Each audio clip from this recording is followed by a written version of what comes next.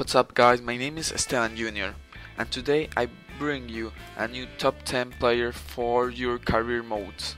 Remember all these players are under 21 years old and their potential is an estimation, it can change in the game. Let me know which players are you are going to hire in your career modes. So let's go!